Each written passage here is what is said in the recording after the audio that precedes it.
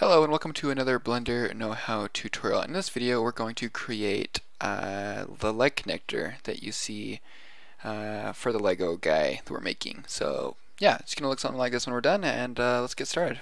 Oops. Open up a brand new scene in Blender. I'm actually going to open this back up. Just pull it over here. And uh, let's go to the front view by hitting 1 on your numpad and I'm just going to go into straight into edit mode. Uh, yeah, let's do that. And then let's just make this small and stretch it out. Looks like a pretty good... What we're wanting to do is create this section, and if it helps, sometimes it's nice to pull up in like things off the internet and look at them and look at this. So we're trying to make that that section right there. So let's go ahead and Probably make it a little bit thicker maybe. Somewhere in there. Uh, yeah, and then let's go ahead and also add, so Shift A, and let's do a cube as well, and just position it right down, uh, a little bit down here. And let's turn, go to modifier, add modifier, and subdivision surface. Uh, what we're going to do is with this section right here between his legs, we're just going to use the cube to make that round shape. Uh, cubes just have better geometry a lot of times than cylinders sometimes, so it's just a little bit easier to work with, uh, at least for my style. And for this, we're just going to do that same thing right here. So let's begin by making this round by Control R, and then you can slide it to the position that you'd like. And then make sure not to forget these edges as well. Oops. Uh, if you get them too close to the edge, so you can see like this one and this one, maybe I want to pull this one a little bit uh, to the right, you hit Alt and click on the line and it'll select it. And then just double tap G and you can move them in. Uh, I'm also going to do that here as well. So maybe move that down, move that down. Okay, then I'm going to go out of edit mode, right click and hit shade smooth. That'll give us a little bit better view of it and turn up the subdivision at least one more magnitude. Uh, now I'm also going to do this with this as well, but first off we need to make this, whoops, a little bit skinnier. Now you may think it's kind of hard to select things. You can go into a wireframe and select it like this. Uh, just another way you can select things though is if you select one point of an object that is not being attached, so this object and this object are separate from each other, you can hit Control and L and it will select everything that is connected to that point. It's kind of a cool way of selecting things. I'm going to make it a little bit skinnier, somewhere in there, and then add our loop cuts. Something like that. And we're just going to want just those two. Because if we do more, then we're going to get different shapes that we don't want.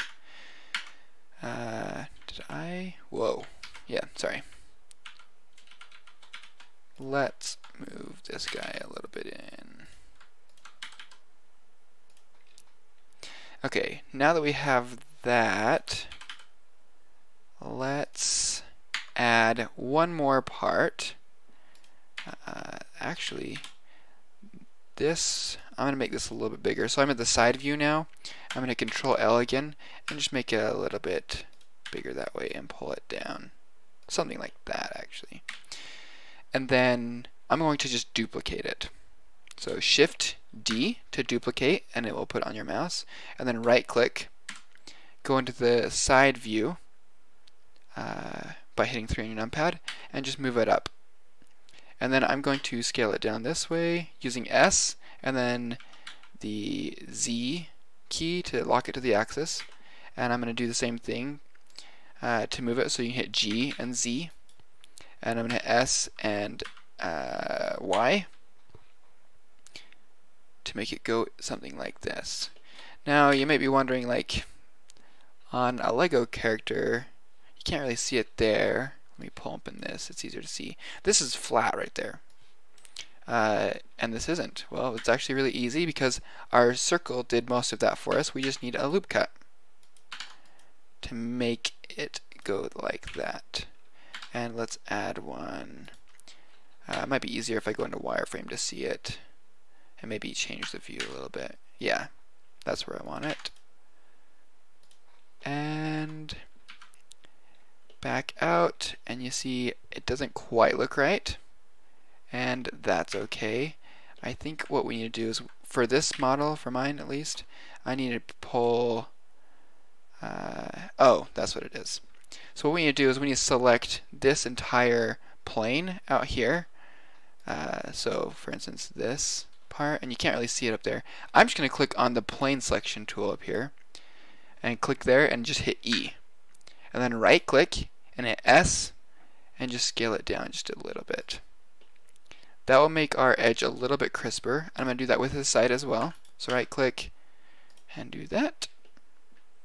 Now if we go back into there, now we get a better looking result there that, that fades straight into it. Looks more seamless. I'm going to turn that up one more time.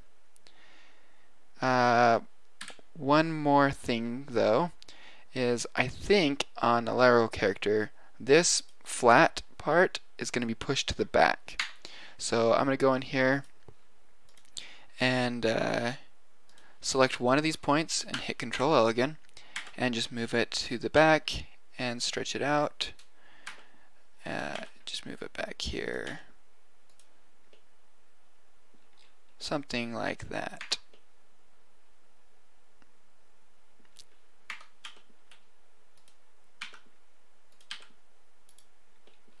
Uh, just to get it in the right spot. Actually, I think they don't. Let me see if we can get a... It's actually a good thing. Let's see what the Lego character back side looks like. Uh, this doesn't look like a Lego brand, but uh, yeah, so it doesn't look like they actually are flat on the backside. Um, they have that round and then they go straight up again. So let's just uh, stick it in the middle and call that good then. Uh, go back into object mode and look at our final product. Uh, save this and we will see you next time to watch the rest of this Lego character creation. Uh, and until next time, we'll see you. Bye.